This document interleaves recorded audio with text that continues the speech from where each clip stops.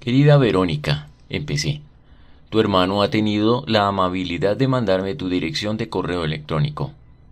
Se me ocurre que aquí puede residir una de las diferencias entre la juventud y la vejez. Cuando somos jóvenes nos inventamos futuros distintos para nosotros mismos. Cuando somos viejos inventamos pasados distintos para los demás. El padre de Verónica tenía un Humber Super Snipe. Los coches ya no tienen nombre así, ¿verdad? Yo tengo un Volkswagen Polo, pero Humber Super Snipe. Eran palabras que salían de la lengua con tanta fluidez como el Padre, el Hijo y el Espíritu Santo.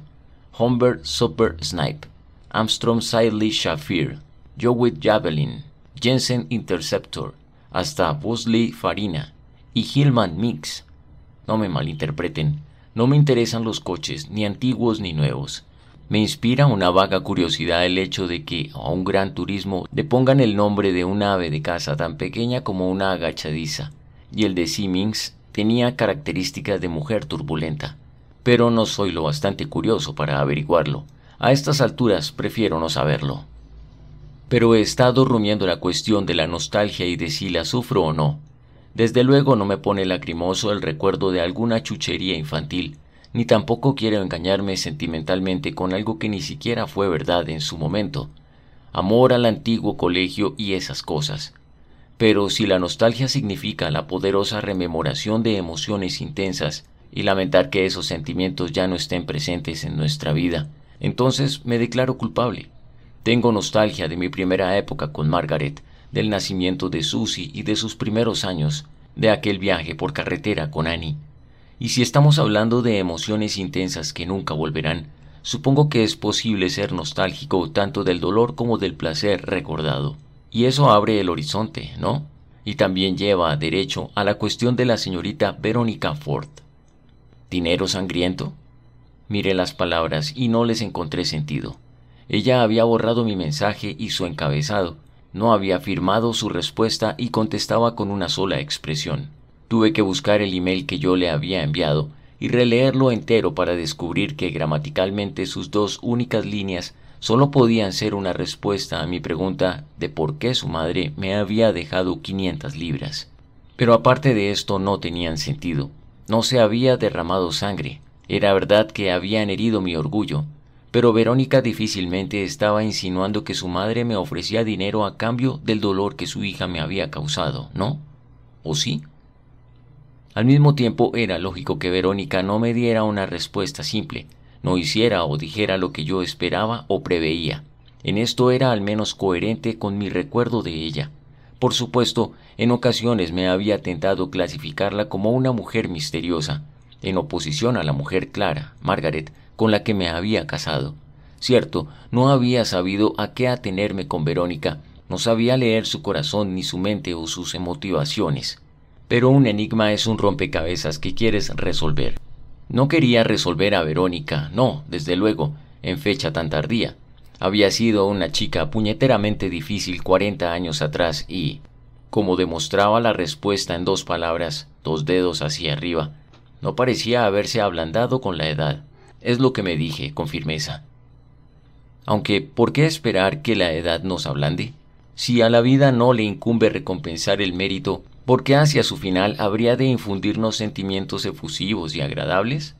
¿Para qué posible propósito evolutivo serviría la nostalgia? Tuve un amigo que hizo la carrera de derecho y luego se desencantó y no ejerció nunca. Me dijo que uno de los beneficios de aquellos años perdidos era que ya no temía a las leyes ni a los abogados. Y más en general ocurre algo parecido, ¿no? Cuanto más aprendes, menos temes. Aprender no en el sentido de estudio académico, sino en la comprensión práctica de la vida.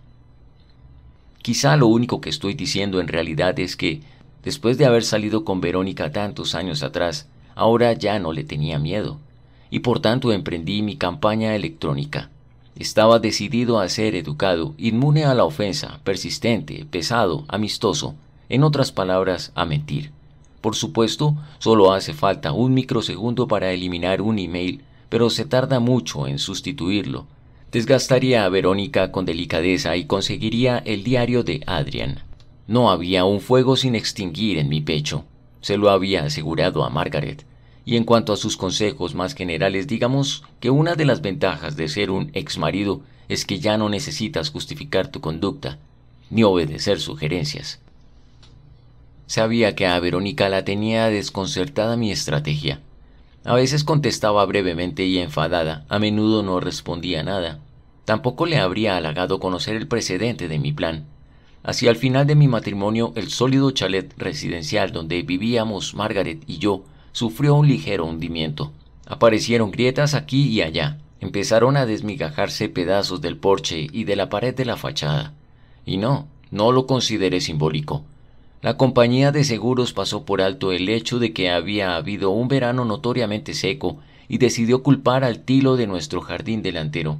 No era un árbol especialmente hermoso, ni yo le tenía cariño, por diversas razones.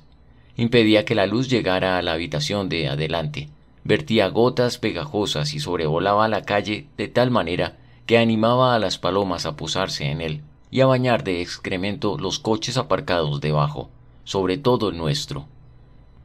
Mi negativa a talarlo se basaba en principios, no el de mantener la población nacional de árboles, sino el de no doblegarme ante burócratas invisibles, arboricultores con cara de niño y teorías de moda actuales, aducidas por las compañías de seguros.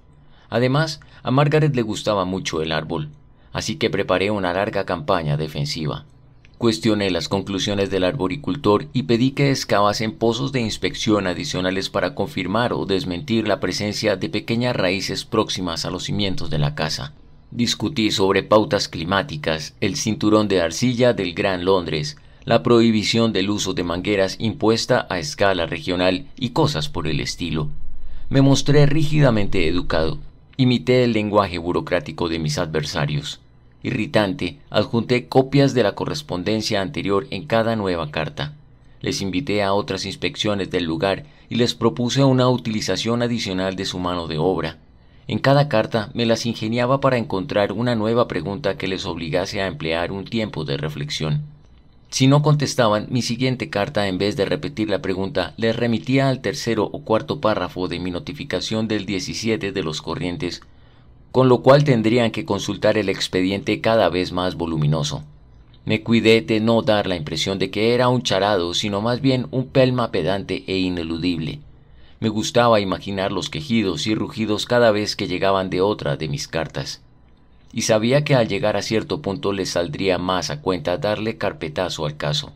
Al final, exasperados, me propusieron una reducción del 30% de la fronda del tilo, una solución que acepté con profundas expresiones de pesar y mucho júbilo interior. A Verónica, como yo había previsto, no le gustó que la tratara como a una compañía de seguros. Les ahorraré el tedio de nuestra correspondencia y pasaré a su primera consecuencia práctica. Recibí una carta de la señora Marriott adjuntando lo que ella describía como un fragmento del documento objeto de la disputa expresaba la esperanza de que en los meses siguientes se produjera una restitución íntegra de mi herencia. Pensé que esto mostraba un gran optimismo. El fragmento resultó ser una fotocopia de un fragmento, pero, incluso al cabo de cuarenta años, supe que era auténtico. Adrián tenía una distintiva letra cursiva y una G excéntrica. Huelga decir que Verónica no me había enviado la primera o la última página ni indicado el lugar que ocupaba en el diario la que me había enviado, si es que diario seguía siendo la palabra correcta para un texto presentado en forma de párrafos numerados. Leí lo siguiente. 5.4. La cuestión de la acumulación. Si la vida es una apuesta, ¿qué forma adopta? En el hipódromo, un acumulador es una apuesta que se basa en la victoria de un caballo para aumentar la apuesta sobre el siguiente. 5.5. Entonces, A. ¿En qué medida las relaciones humanas podrían expresarse en una fórmula matemática o lógica? Y B. ¿De ser posible, qué signos se colocarían entre los números enteros? Más o menos, evidentemente. A veces signos de multiplicación y, sí, de división. Pero estos signos son limitados. Así pues, una relación totalmente fracasada podría expresarse en términos de pérdida, menos y división, reducción, cuyo resultado es igual a cero. mientras que una totalmente realizada puede representarse mediante signos de adición y multiplicación. Pero, ¿y las demás relaciones? ¿No hay que expresarlas con anotaciones que son lógicamente improbables y matemáticamente insolubles? 5.6. En consecuencia, ¿cómo se expresaría una acumulación que contuviera las letras B, A1, A2, S, V? 5.7. ¿O es un modo erróneo de formular la pregunta y expresar la acumulación? ¿Es contraproducente en y por sí misma la aplicación de la lógica a la condición humana? ¿En qué se convierte una cadena de argumentos cuando los eslabones están hechos de metales diferentes, cada uno con fragilidad distinta? 5.8. ¿O eslabón es una metáfora falsa? 5.9. Pero suponiendo que no lo sea, si un eslabón se rompe, ¿en quién recae la responsabilidad de la rotura? ¿En los eslabones inmediatamente situados a ambos lados en toda la cadena? Pero, ¿qué queremos decir con toda la cadena? ¿Hasta dónde se extienden los límites de la responsabilidad? 6.0 o bien podríamos intentar establecer la responsabilidad más estrechamente y atribuirla con mayor exactitud, y no utilizar ecuaciones y números, sino expresar las cuestiones con la tradicional terminología narrativa. Así, por ejemplo, Citoni. Y aquí se terminaba la fotocopia, la versión de una versión. Así, por ejemplo, Citoni. Final de línea, parte inferior de la página. Si no hubiera reconocido de inmediato la letra de Adrian, podría haber pensado que aquel suspense formaba parte de alguna compleja falsificación urdida por Verónica. Pero no quería pensar en ella hasta cuando fuera posible no hacerlo.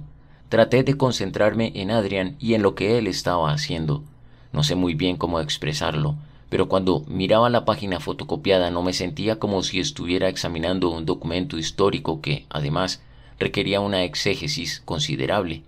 No, me sentía como si Adrian estuviese de nuevo presente a mi lado en la habitación, respirando, pensando. Y qué admirable seguía siendo. Algunas veces he intentado imaginar la desesperación que conduce al suicidio. He tratado de evocar el giro brusco y el vuelco de la oscuridad en que la muerte se presenta solo como un puntito de luz. En otras palabras, exactamente lo contrario a la condición normal de la vida. Pero en aquel documento, que entendí sobre la base de aquella única página que consistía en la argumentación racional de Adrián conducente a su suicidio, el redactor utilizaba la luz en un intento de alcanzar otra mayor. ¿Tiene sentido esto? Estoy seguro de que los psicólogos han confeccionado en algún lugar un gráfico de la inteligencia en consonancia con la edad, no un gráfico de conocimientos, pragmatismo, aptitudes de organización, un sentido común táctico, esas cosas que, con el paso del tiempo, empañan nuestra comprensión del asunto, sino un gráfico de inteligencia pura, y conjeturo que la mayoría de nosotros alcanza el punto más alto entre los 16 y los 25 años. El fragmento de Adrian me remontó a cómo él era a esa edad. Cuando hablábamos y discutíamos, era como si su intención fuera poner en orden los pensamientos, como si utilizar su cerebro fuese algo tan natural como usar los músculos para un atleta. Y así como los atletas reaccionan muchas veces al lograr la victoria con una curiosa mezcla de orgullo, incredulidad y modestia, yo he hecho esto, pero ¿cómo lo he hecho? ¿Yo solo? ¿Gracias a los demás? ¿O lo ha hecho Dios por mí? Así también Adrian te llevaba de viaje por su pensamiento como si él mismo no creyera del todo la facilidad con que viajaba. Había entrado en un estado de gracia, pero que no era excluyente. Te hacía sentirte como si pensaras con él, aunque no dijeras nada y fue muy extraño para mí volver a sentir esto, el compañerismo con alguien ya muerto pero aún más inteligente, a pesar de todos los decenios que he vivido más que él. No solo inteligencia pura, sino aplicada. Me puse a comparar mi vida con la de Adrian. La capacidad de verse y estudiarse a sí mismo, la capacidad de tomar decisiones morales y actuar de conformidad con ellas, la valentía física y mental de su suicidio. La expresión es se quitó la vida, pero Adrián también se ocupó de su vida, tomó las riendas de su vida, la tuvo en sus manos y luego la soltó. ¿Cuántos de nosotros, los que quedamos, podemos decir que hemos hecho lo mismo? Vamos tirando, dejamos que la vida nos acontezca, poco a poco almacenamos un cúmulo de recuerdos. Está la cuestión de la acumulación, pero no en el sentido en que lo empleaba Adrian, sino solo la simple suma y adición de la vida. Y como ha señalado el poeta, hay una diferencia entre suma y aumento. ¿Ha aumentado mi vida o meramente ha añadido?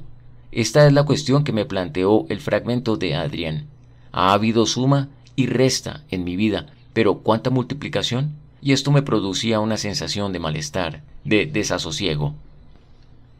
Así, por ejemplo, si Tony, estas palabras tuvieron un sentido local, textual, específico hace 40 años, y yo podría en algún momento descubrir que contenían o conducían a una reprensión, una crítica de mi antiguo amigo clarividente, introspectivo, pero por ahora las oía con una referencia más amplia, a la totalidad de mi vida. Así, por ejemplo, si Tony, y en este registro las palabras eran prácticamente completas en sí mismas y no necesitaban ir seguidas de una cláusula principal explicatoria. Sí, en efecto, si Tony hubiera visto más claramente, actuado con mayor decisión, abrazado valores morales más auténticos, si no se hubiera conformado tan fácilmente con una placidez pasiva que primero llamó felicidad y más tarde satisfacción. Si Tony no hubiera sido miedoso, si no hubiera contado con la aprobación de los demás para aprobarse a sí mismo, y así sucesivamente, a través de una sucesión de condicionales que desembocaban en uno definitivo. Así, por ejemplo, si Tony no hubiera sido Tony. Pero Tony era y es Tony, un hombre que hallaba consuelo en su propia terquedad, cartas a compañías de seguros y mails a Verónica. Si vas a andarme jodiendo, yo también voy a joderte.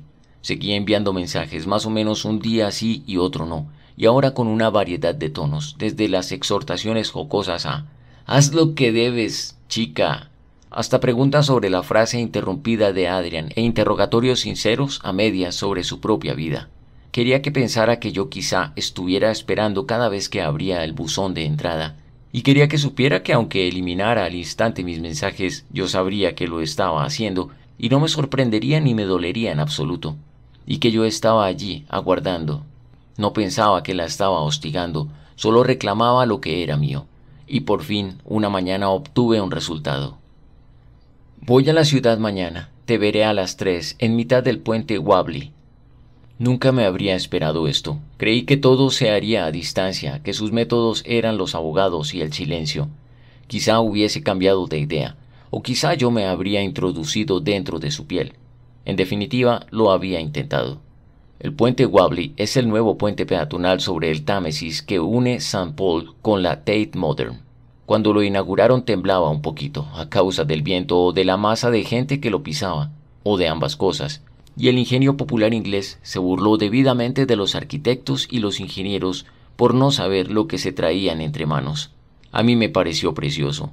Me gustaba también cómo se balanceaba. Me parecía que de cuando en cuando tenían que recortarnos la inestabilidad debajo de nuestros pies. Después lo arreglaron y cesó el bamboleo, pero el nombre perduró, al menos por el momento. Me intrigaba la elección de Verónica para nuestro encuentro. También me preguntaba si me haría esperar y por qué lado llegaría. Pero ella ya estaba allí. La reconocí desde cierta distancia. Su estatura y su porte fueron instantáneamente familiares. Qué extraño que se te quede grabada la imagen del porte de alguien. En su caso, ¿cómo decirlo? ¿Se puede adoptar un porte impaciente? No quiero decir que ella diera saltos de un pie al otro, pero una tensión visible indicaba que no quería estar allí. Consulté mi reloj. Yo llegaba a la hora en punto. Nos miramos. Has perdido pelo, dijo ella. Sucede. Al menos demuestra que no soy un alcohólico. No he dicho que lo fueras. Vamos a sentarnos en uno de esos bancos. Se dirigió hacia ellos sin esperar una respuesta. Caminaba deprisa y yo habría tenido que correr unos pasos para ponerme a su altura. No quise darle ese gusto y la seguí unos metros por detrás hasta un banco vacío que miraba al Támesis. No sabría decir en qué fase estaba la marea, porque un viento elástico como una fusta soplaba de costado sobre la superficie del agua. El cielo, arriba, estaba gris. Había pocos turistas. El traqueteo de un patinador pasó por detrás de nosotros. ¿Por qué la gente piensa que eres un alcohólico? No lo piensa. Entonces, ¿por qué lo has sacado a relucir? No lo he hecho. Tú has dicho que había perdido pelo, y resulta que está comprobado que si bebes mucho, algo que hay en la bebida impide que se te caiga el pelo. ¿Es verdad eso? Bueno, ¿conoces a algún alcohólico calvo? Tengo cosas mejores que hacer con mi tiempo. La miré de reojo y pensé, no has cambiado, pero yo sí. Y sin embargo, extrañamente, estas tácticas de conversación casi me pusieron nostálgico. Casi. Al mismo tiempo pensé, pareces un poquito velluda. Llevaba una falda funcional de tweed y un impermeable azul bastante gastado. El pelo, aun teniendo en cuenta la brisa que venía del río, parecía despeinado. Era igual de largo que cuarenta años antes, pero profusamente veteado de gris, o más bien era gris, con vetas del castaño original. Margaret decía que las mujeres cometen a menudo el error de mantener el corte de pelo que adoptaron cuando estaban en su máximo atractivo. Lo mantenían mucho tiempo después de que se hubiera vuelto inadecuado y todo porque tenían miedo del gran corte. Ciertamente tal parecía ser el caso de Verónica, o quizá le daba lo mismo. ¿Y? dijo ella. ¿Y? repetí. Tú querías que nos viéramos. ¿Yo? ¿Quieres decir que no querías? Si tú dices que sí, supongo que sí. Bueno, ¿sí o no? preguntó poniéndose de pie y adoptando un porte, sí, impaciente. Yo no reaccioné adrede. No le pedí que se sentara, ni me puse de pie yo también.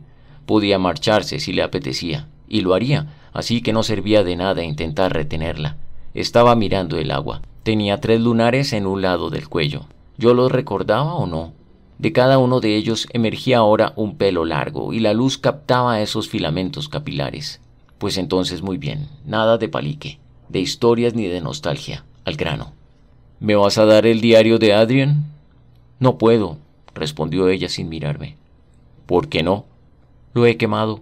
Primero robo, después piromanía, pensé con un acceso de ira, pero me dije que debía seguir tratándola como a una compañía de seguros, así que, lo más neutralmente posible, me limité a preguntar. ¿Por qué motivo?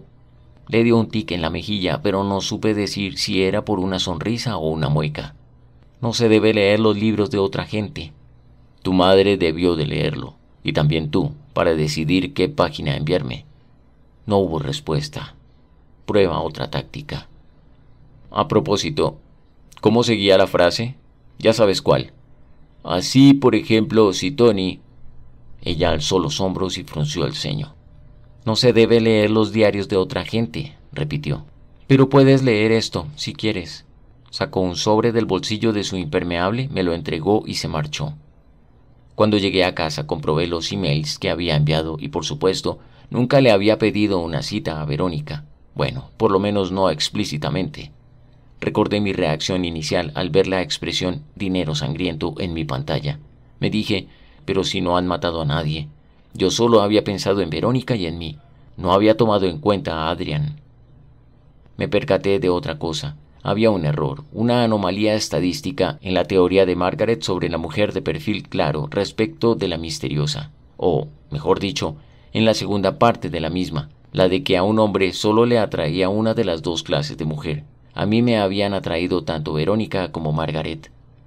Recuerdo un periodo del final de la adolescencia en que mi mente se embriagaba de imágenes intrépidas. Así sería yo de mayor. Iría allí, haría esto, descubriría esto otro, amaría a esa mujer y luego a ella y a ella y a ella. Viviría como viven y habían vivido los personajes de novela. No sabía muy bien quiénes, sino solo que les esperaban pasión y peligro, éxtasis y desesperación, pero más éxtasis. Sin embargo, ¿quién dijo lo de la pequeñez de la vida que el arte exagera? Hubo un momento final de mis veinte años en que admití que mi intrepidez hacía tiempo que se había agotado. Nunca haría las cosas con las que había soñado en la adolescencia. En vez de eso, segaba el césped, iba de vacaciones, vivía mi vida. Pero el tiempo, el tiempo primero nos encalla y después nos confunde. Creíamos ser maduros cuando lo único que hacíamos era estar a salvo. Pensábamos que éramos responsables, pero solo éramos cobardes.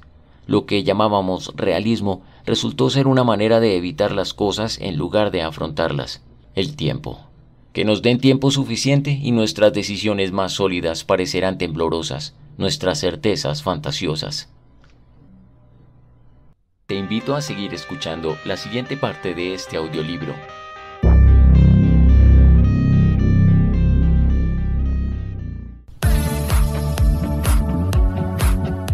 Literatura de Colombia y el mundo en un solo lugar. El cuento de la radio, estimulando tu imaginación.